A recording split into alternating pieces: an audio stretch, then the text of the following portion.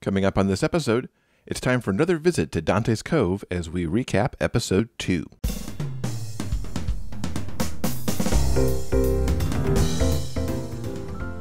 Welcome to episode 363 of the Big Gay Fiction Podcast, the show for avid readers and passionate fans of gay romance fiction. I'm Will, and with me, as always, is my co host and husband, Jeff. Hello, Rainbow Romance readers. It's great to have you back with us. As always, the podcast is brought to you in part by our remarkable community on Patreon, and we'd like to quickly thank them for their support, including our newest member, Liza, and a Warrior's Spirit who recently increased their pledge. It's because of our patrons that we're able to bring you podcast episodes every single week with interviews from some of your favorite authors and reviews of some of the most amazing books our genre has to offer. On the Big Gay Fiction Podcast Patreon page, members have access to Patreon first content, stuff they get to hear before anyone else, and they also have the chance to ask questions to our upcoming guests. Patrons help fund the transcription of the episodes, making sure this show is accessible to all readers and listeners. If you're in a position to help the podcast grow and would like more information, simply head on over to patreon.com slash biggayfictionpodcast. So the Winter Olympics concluded this past weekend, and over those two weeks we did enjoy some of the competitions. As always, we watched a good bit of figure skating with the men's, the ice dancing, and some of the pairs competition. It was really thrilling to watch Nathan Chen deliver two incredible performances to win his gold medal. It was also great to watch the stories of the athletes from the LGBTQ community and the first openly non binary athlete to compete at the Games, as American Timothy Leduc competed in pairs figure skating.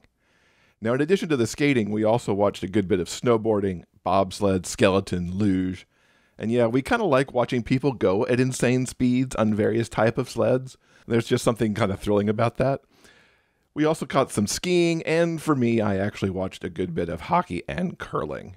Now, while the Olympics might be over, you could still enjoy several winter sports through the pages of the gay romances that are a part of the Winter Olympics promotion that continues to run through the end of this month. You'll find romances involving hockey players, figure skaters, snowboarders, and curlers from authors like Keira Andrews, Letta Blake, Avery Cockburn, Lane Hayes, V.L. Locey, B.L. Maxwell, Chantel Murr, Sean Michael, N.J. Lisk, R.J. Scott, and Susan Scott Shelley. Plus, I've got a book in there too. It's really an amazing lineup. And even better, most of these books are on sale too, so you could stock up. You can find the list of books and where to purchase them at biggayfictionpodcast.com slash Olympics or at the link in the show notes. So, before we get to our discussion of Dante's Cove, we want to quickly mention another series that we've recently enjoyed a German series on Netflix called Kitz, K I T Z. Now, if you can imagine revenge mixed with Pretty Little Liars set in the Alps, you kind of get an idea of what Kitz is all about. You could not have found some better analogies there for that. So, the show gets its name from the town itself, Kitzbühel, which I'm sure I'm only sort of pronouncing correctly. It's kind of like Aspen, a snowy playground for the rich and famous. And at the center of the show is a local girl named Lissy. And she's plotting revenge against the people she holds responsible for her brother's death a year before. At the start of the series, she befriends a rich, beautiful, insta famous group of friends, becoming an integral part of their clique before burning it all down, literally and figuratively. Helping Lissy in her plan is her best friend, local nice guy farm boy Hans, who's been having a secret fling with a spoiled hotel heir named Kosh the kind of rich boy who is damaged and oh so very messy. Messy doesn't even begin to describe Kosh, and yet I just wanted to take care of him at the same time. Put him back together again. And in first glance, it's really hard to see what Hans and Kosh might have in common. It seems to truly be a case of opposites attracting. But as the series unfolds, we do truly get to see that they are good for each other. There are lots of twists and turns, and by the end, everyone gets a happy ending. But there is one big final twist that throws everything into question once again. So, Netflix Germany, I hope you're working on series two right now. Yeah, they better be because I was all set to just ride off happily into the sunset and then whammo, right there at the end. It was quite the twist. I really enjoyed this series a whole bunch. I thought the twists and the turns and the mystery and what Lissy was doing and what she was uncovering as she went along was really thrilling. I was often left like, oh, wow, so that. But then there was Hans and Kosh too, who just every time they were on screen, whether it was in the early part of them trying to come together and the push and pull that they had with each other, or as it was later as they were kind of deciding to maybe go for this thing, their relationship just gave me all kinds of heart eyes as it played out because they turned out to be really good for each other. Yeah, show up for the mystery and stay for the nice squishy romance that's in there too. There were six episodes in the first season of Kitz, making it perfectly bingeable in a single day or a weekend. We really enjoyed it and think you might as well. Kitz is available to watch right now on Netflix. So that's a new series that we've been watching. Are you ready to throw it back for another classic episode of everybody's favorite supernatural soap, Dante's Cove? Oh my, yes. I was surprised, even before you get into the notes, I, will say I was surprised at how much more kooky episode two was over episode one. Now that we've got everybody introduced, the real Crazy Town stuff can actually begin. So let's dive into our discussion of episode 2 by quickly reading the wiki description of this particular episode, which just so happened to have aired originally on my birthday way back in 2005. Now, as we rewatched this last night, I actually don't remember there being an episode title card. But No. Wiki says this episode is called Then There Was Darkness, which is a play on the name of the first episode, which was called In the Beginning. And as you say that, it just makes me think of Snoopy's favorite first line on a dark and stormy night. I don't know why, other than the fact that there's a lot of thunder and lightning that goes down on Dante's Cove. That doesn't really seem to concern anyone. We can talk more about that as we get going. Well, no, let's talk about it right now because it's for a certain kind of viewer, this might be a sticking point vis a vis the realism that is not on display in this particular program. If you're looking for that, this is not for you.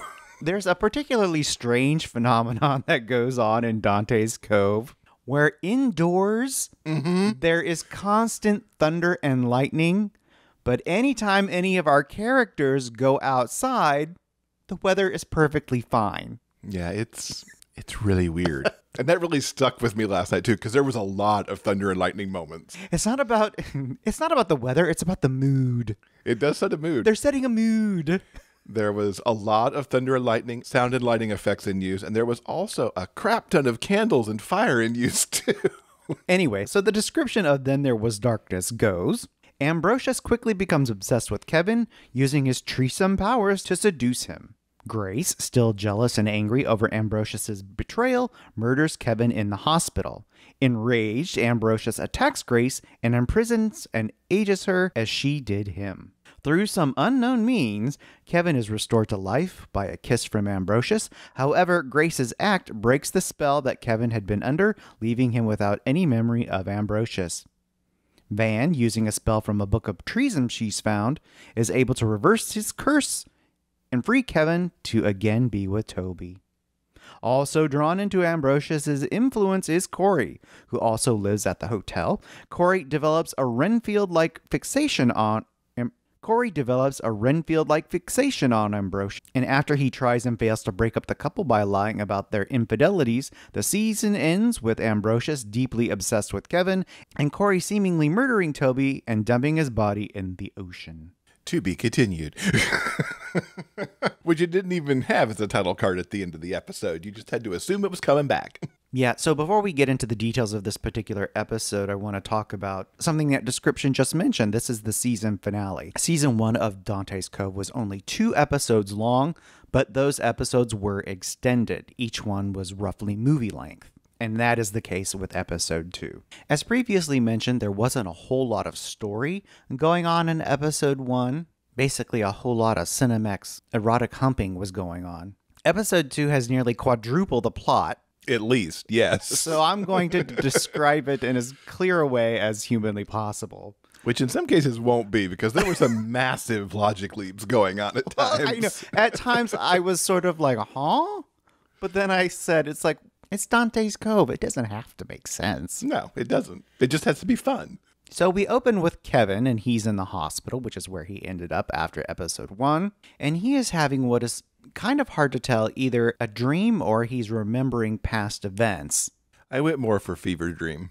there's like a romantic sun dappled montage of him and Toby rolling around in the grass feeding strawberries to one another, which is interrupted by sexy thoughts of Ambrosius, who is taking up residence in a great big lighthouse. Because that's what you do. It is one of the best lairs ever. And because he is the one who freed Ambrosius with a kiss from his magical captivity, they have some sort of undefined connection, and he's calling out to him. Repeatedly. And Kevin is compelled to get up out of his hospital bed and sleepwalk to the great big lighthouse. Gee, I wonder what that symbolizes. And Kevin descends the circular staircase into his candlelit boudoir. Losing his hospital gown and underwear on the way, which, in a very tidy fashion, he picks back up and puts on as he leaves later.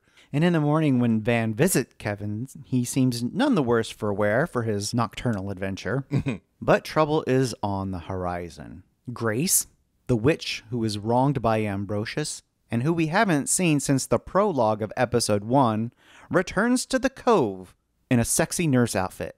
She had the shortest of short skirt of any of any nurse in that hospital, and yet cute librarian glasses. It was very, very odd.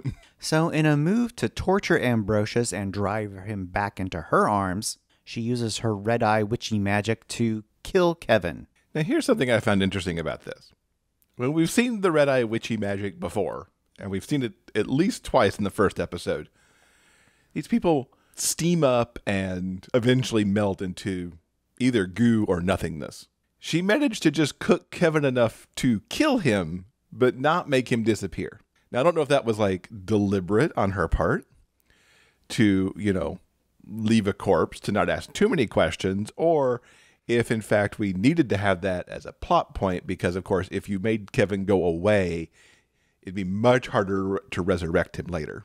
Tresum powers, who can say?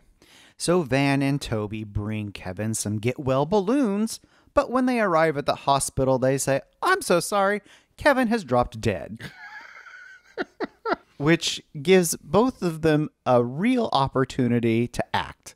But you know, to that, to the, as you say that, I, I do want to point out too that in the vastness of Dante's Cove overacting, of which there is, you know, Charlie David, who plays Toby, and Nadine Nicole, who plays Van, actually overact far less than everybody else, lending it a little bit of groundedness over the grieving of now presumably dead Kevin. At least how I looked at it, because boy, is there overacting going on in this episode in particular that we'll talk more about soon. I didn't mean they were acting in a bad way. It's just that there's some serious ugly cry faces going on. Oh yeah. Oh yeah, for sure. They they mastered the ugly cry face. So Ambrosius calls out to Kevin once again, but when he doesn't answer, he's not picking up the phone.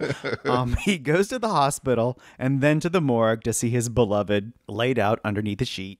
And it's there that he has a confrontation with Grace. And I'm not going to say this is necessarily a dynasty level cat fight, It's close. but there is some prime bitchy dialogue, and they use their magic to like lay into one another. If you want to talk about some overacting going on, this is the first time that we've really seen Tracy Scoggins and William Gregory Lee really go at it with each other. Because as she was like damning him to his 200 years or whatever, he was pissed, but he was also kind of stuck. And now that he's got his powers, this is the first of many scenes where these two go at it. And I have to think, or at least I hope, I hope the actors enjoyed these scenes because they looked a lot of fun as they're just chewing up the scenery and each other in their confrontation scenes in this episode. So Grace gains the upper hand first, which leads to her having a flashback to the old timey days As you do when you have the upper hand. when Ambrosius was courting her and her mother wasn't very approving of the match. And it's here that we slowly start to fill in some of the backstory and information about Tresum and how it works, and how Grace is going to ascend to be the Tresum High Priestess, and yada, yada, yada. And it's while Grace is taking this walk down memory lane that Ambrosius gets the upper hand. You need to pay attention when Yeah. you're in a fight. and he imprisons her in the dungeon in the basement of the Hotel Dante. That night, while Toby is laying in bed, the ghost kids tell him that something is up. So Toby goes to the hospital, and indeed, Kevin is up and walking around. Ta da! Presumably, a kiss that Ambrosius has given him has somehow awakened him from whatever voodoo shenanigans Grace was up to. I tell you, it's not 100% clear if Ambrosius did that or Grace did that or who did that. But hey, Kevin's up and around again. So now that he's alive and well, I don't know if he's quite well, but at least alive.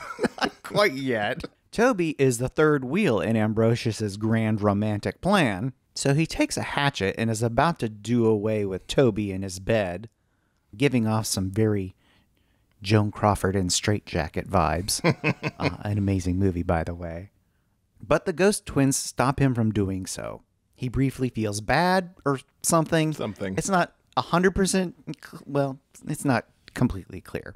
of all the scenes in Dante's that are not logically organized and shot, this one really struck me because so Toby's in probably a queen size bed and he's laying on the far side away from Ambrosius. Ambrosius is going to have to lean over the empty part of the bed to be able to strike Toby at all. Why would you not just stand over him to hack him? Now, I'm assuming they had to do this maybe because they're in a practical room and not a soundstage so they could flip the camera angle easily. He looked ridiculous to me. Like, how are you going to actually do this well from over there? And two, why aren't you just using your powers? And the ghost kids, I don't know if we mentioned, did we mention in the last time we talked about this that the the ghost kid is Boo Boo Stewart? Yes, we briefly touched on them, but only in passing because narratively they don't have much more to do. Yeah, they weren't doing much in that episode. And they won't ever again. They're essentially forgotten after this which episode. is weird because they put out this whole thing about something that happened to them in the 1950s that is not resolved in this episode and may never be resolved as the series goes on. well, as I mentioned before, there was a lot of setup and a lot of different characters in episode one that we never hear from again. And that is the case here. There were several residents of the Hotel Dante that we saw humping away in episode one and are now completely forgotten about. Yeah, even by episode two, there's a few that are already like, who? So, after that failed murder attempt, Bro runs into Corey in the courtyard of the Hotel Dante. And this, incidentally, is the first instance of someone giving Ambrosius his nickname. Corey calls him Brocious, which is equal parts stupid and adorable. Later on in the series, it will simply be shortened to Bro. But Ambrosius sees possibilities in the lovable hotel slut, so he takes Corey back to his lighthouse lair. And when Corey realizes this isn't quite the hookup he imagined, he tries to make a run for it, but is unable to escape Brocious's sexy clutches. Well, he was whammied by some Tresum, so. Yeah, definitely. so it's in Ambrosius's subterranean lighthouse sex dungeon that they undertake this blood ritual, making Corey his faithful sex servant. Strangest blood ritual ever. Ambrosius cuts open his stomach and makes him drink the blood. I mean, of all the things you could do, you know, it wasn't just the simple, I'm going to bite my arm or slice my arm and you're going to drink from there. You have to drink from my tummy. It's like, what? It's not a tummy, those are sexy freaking abs. Oh, sure, okay. And that becoming his sex slave also comes with an entirely new outfit for Corey, which should be the first clue to everybody that something is not right. I know. Poor Corey. Ambrosius made him put on pants.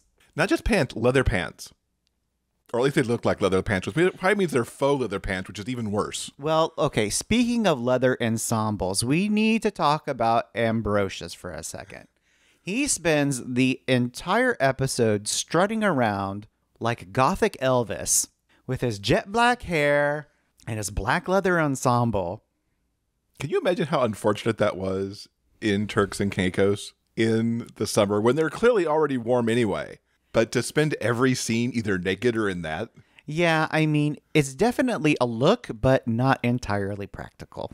yeah. And then poor Corey, you know, goes right for the leather wear, which, like I said, over and above his gaunt, distressed appearance after the changeover, the fact that he went from like short shorts and an open shirt to leather pants and that sleeveless, tight leather shirt thing. It's like, can't you see he's tweaked? This is not what he wears. So, sex zombie Corey is definitely under some sort of Renfield like spell. And he pays a visit to Kevin in the hospital, and he's trying to sow seeds of doubt. And he tells Kevin that Toby is a dog faced dog type cheater, and Kevin, being young and impressionable, sort of falls for it. And then Corey pays a visit to Toby at the bar where he works, and he does the same thing. And Toby, being slightly older and a little bit wiser, isn't falling for any of it. Well, when you consider the things that got told, the lie that he told Kevin was much more plausible than the lie that he told Toby. The whole thing that Kevin actually came on and slept with with Corey was like, you couldn't come up with something maybe a little bit better for that. And yeah, Toby is a slightly older and wiser, but Kevin, to his credit, also was like, I don't know that I believe you. And I gave him the benefit of the doubt for being a little more fuzzy because he was just dead not that long ago. So his, you know, faculties aren't quite back to normal yet. Revisiting this episode, I find I have a real soft spot for the Corey character, especially in these two particular scenes. He's trying so damn hard, but he's really bad at this. it's kind of adorable and hilarious at the same time. It is. And it's not the actor, I don't think, being bad. He's actually, you know, trying to carry out Ambrosius's demands, but not being the best liar because deep down he's just this happy-go-lucky guy who is just out to have some sex and a nice time, and he's being tasked with some very serious stuff here, trying to keep Ambrosius happy. So, at the local historical society, Van and Toby learn a little bit more about Grace's backstory, and they also happen to find a copy of the Book of Tresum just laying around. How many of these are there? Because Ambrosius has one too. all of his own. So I don't know where he got his, but here's another one. Yet so far in the series, we have two books of Tresum. The one that Ambrosius has, which Grace kept in the dungeon underneath the Hotel Dante. And I'm not 100% sure where the second book has come from. And as a book, it seems to serve several different narrative purposes. it seems to be both a book of spells as well as sort of a history. It's your all in one guide. Tresum 101. Tresum for Dummies is essentially what it is. Well, I will talk more about that in a second. so after Kevin's whole back from the dead thing, Van is convinced that she can use the book to cast a spell to break whatever curse has been placed on him. So the two of them arrive at Kevin's bedside. Van uses the book to abracadabra him. Kevin and Toby make up, and the three of them decide to celebrate with a bonfire party on the beach. I'd call that more of a campfire. That was not a really big fire. Bonfire Bonfires being ah, really potato potato. Let's talk about Van for a minute. So we've learned so far that Grace is supposed to be this priestess. We know from the flashbacks at the time that she was looking to marry Ambrosius that she had not fully come into her powers yet. She wasn't fully versed yet in the ways of Tresum and didn't quite understand what she was doing, blah, blah, blah. We know that somehow Ambrosius learned Tresum during his 200 years or whatever of captivity below the Hotel Dante. Van spends 10 minutes with this book, flips to the right page, and unwhammies Kevin. Really? Is Tresum hard to learn or not? there wasn't even that moment. I mean, they did look through the book a little bit, but they were mostly in the historical part of the book, trying to sort out what this was and stuff. There wasn't even that moment with the grimoire of going over and going, might be this spell, might be this spell. Hermione spends more time with spell books in Harry Potter than than Van did in this entire moment to unwhammy Kevin. And nobody blinks an eye at it, for that matter. Even Ambrosius and Grace both have this moment of something just happened. You could tell that they registered this disturbance in the force, but they don't really say anything about it. They just have this one facial expression over it. I am of the opinion that you might be overthinking this just a little bit. And I'm willing to accept that, but you know. Now, if memory serves, in season two, Van explores her interest in Tresum a little bit more. And she and she tries to get Grace to kind of take her under her wing. And Grace sort of sees possibilities in her. So she may have some innate capabilities. Sure. But even for Van, she wasn't like, hey, I just did that. It was like, okay, that worked. Yay. Anyway, our happy trio are on the beach at night. And as the episode draws to a close, Corey and Ambrosius lure Toby away and conk him on the head and toss him off of the end of the pier. Yet another moment where it's like, Ambrosius, you've got some powers. Why not use that instead of using an axe or this random rock that you found somewhere? Which means Kevin is now in Ambrosius's clutches, and Grace has managed to muster enough power to break free from her captivity, leaving the door open for more supernatural shenanigans in season two of Dante's Cove. I look forward to it. As I remember in season two, they refined themselves a little bit more. I assume they learned a lot of stuff from season one, figured out what they wanted to do a little more, but I look forward to continuing the shenanigans next month. Yeah, all kidding aside, I love this show so hard. Oh, I did too. It was so fun to watch all these crazy town stuff going on. It's it's so it's just so damn wonderful. Any final thoughts before we wrap up this Well, you know, we didn't talk about Stephen Amell much this time. We talked to him about him a little bit in the first episode, and he did have a few more things to do here because theoretically, Adam and Toby have been best friends since, you know, fifth grade or whatever. And he had some making up to do with Toby because he, he, he you know, got into him so hard about he's he's shitting on his and Kevin's relationship and being Yeah. kind of pissy about the whole thing.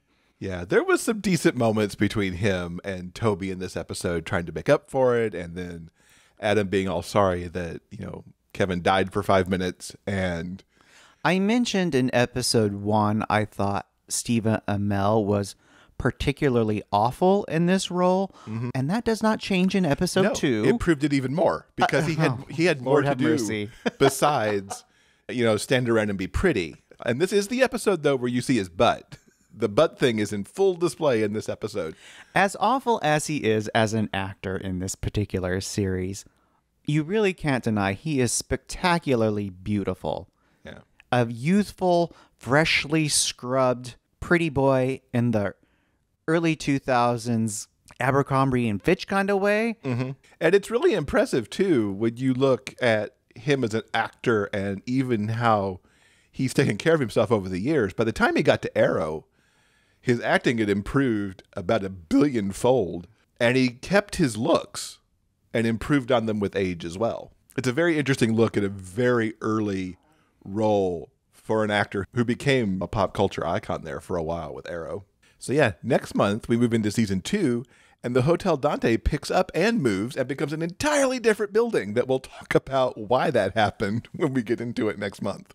Yep, so definitely looking forward to talking about that.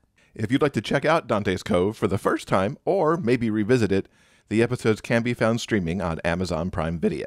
And as we mentioned earlier, this episode's transcript has been brought to you by our community on Patreon. If you'd like to read our conversation for yourself, simply head on over to the show notes page for this episode at biggayfictionpodcast.com. And if you've watched Dante's Cove in the past or are maybe checking it out now because we're talking about it, we'd love to know what you think of the show. Let us know by leaving a comment on that very same show notes page. All right, I think that'll do it for now. Coming up next in episode 364, we've got reviews of what we've been reading recently and a preview of some of the books that we're looking forward to in March.